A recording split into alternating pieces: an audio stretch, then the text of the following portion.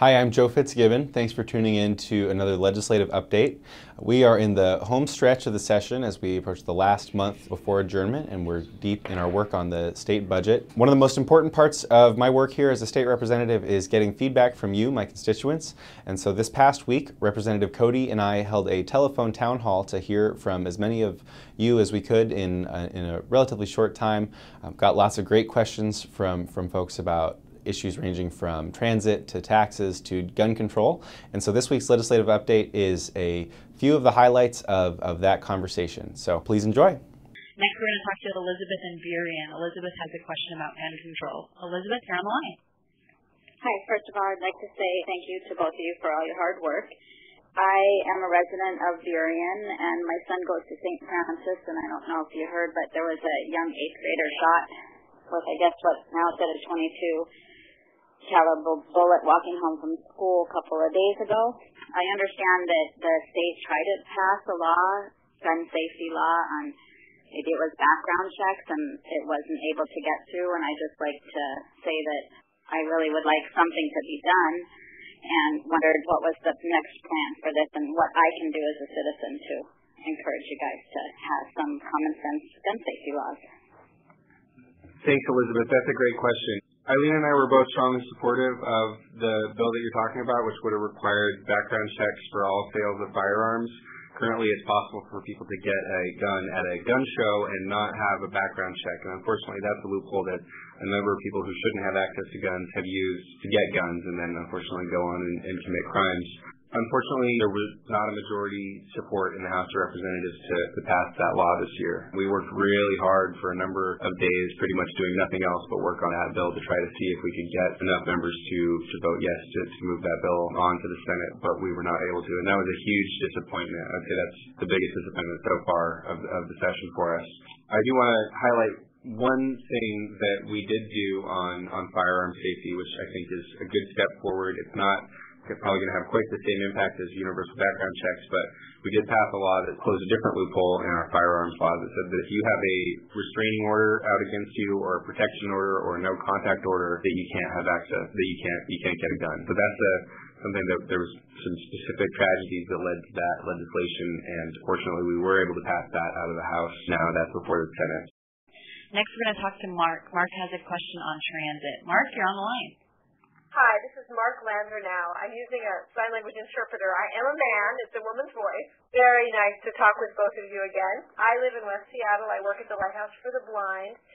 And my question regards transportation. I know that there's three bills that have been floating around for King County Metro, Pierce Transit, and for community transit. And I know that in all three areas they're looking at pretty serious budget deficits that are going to truly affect transportation for all of us, and particularly for those of us with disabilities. And my understanding is for Metro in particular, a reauthorization is needed to enable the license tag fees to be continue to be collected after this next year. But anyway, the three bills I'm curious about their current status. They're House Bills 1898, 1953, and 1969. I'm wondering if either of you could comment on those.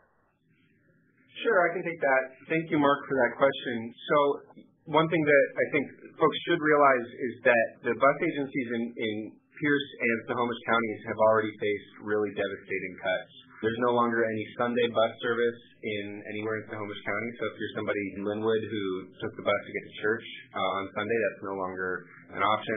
In Pierce County, they haven't gotten there yet, but probably later this year they're going to eliminate all bus service for Saturday and Sunday and all bus service after 7 p.m. in you know Tacoma and Puyallup and therein. Luckily, we have managed to not see those kind of cuts so far in King County, and a big reason for that is that we passed legislation two years ago that gave King County a temporary funding option to help them preserve bus service during the past two years.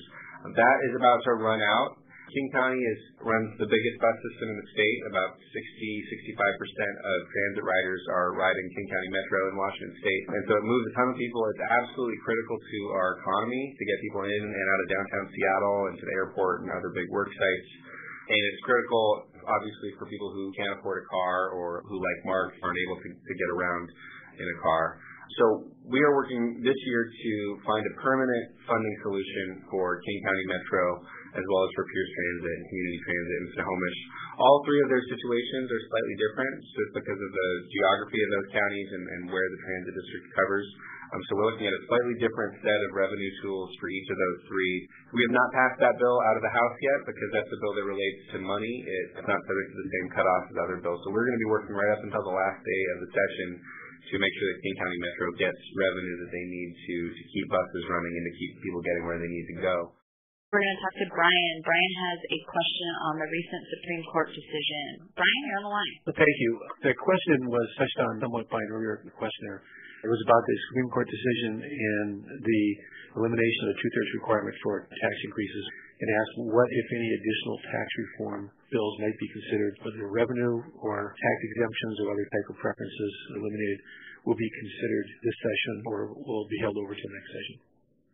That's a great question, Brian. Thank you. There's a whole variety of tax reform ideas that are likely to be considered this session. There were some temporary taxes that the legislature enacted in 2010, which are scheduled to expire later this year, and those are one was a temporary increase in the business and occupation tax for certain service businesses from 1.5% to 1.8%. If we take no action, that, that will go back down to 1.5%, and that's one idea that's been proposed that we would continue that increase permanently. And that would raise a couple hundred million dollars. That would make a pretty big dent in the problem. Uh, there's also a beer tax. There's an existing beer tax that, that was increased three years ago, and that raised, I think, about $80 million for the next two years. And so that's one idea that's being considered is to continue the beer tax at that higher rate. Another idea that I think will get a lot of you know, we're always taking a look at tax loopholes to determine if, if those are performing or not performing. One that we think pretty clearly is not getting value for the taxpayers. It's called the extracted fuel exemption. It's about $68 million over two years, and it's almost entirely paid by the oil refineries. There's five oil refineries up north in the Bellingham, Anacortes area, and they have this loophole for some of the fuels that they use in their processes. That if we close that loophole, there's a lot of support for doing that. That would get us about $68 million. Those are some of the ones that received a lot of discussion. I mentioned earlier the capital gains tax. That's, again, a tough political conversation here in Olympia, but I think it's one of the more innovative ideas for how we can balance the budget in a fair way. Thanks again for tuning in to this update. Um, if you didn't have a chance to get your question answered, I always welcome your calls and your emails and even a visit here at the state capitol. If you'd like to hear the entire audio of the telephone town hall with Representative Cody, you can go online to my website and listen to it there. Otherwise, look forward to hearing from you. Thanks.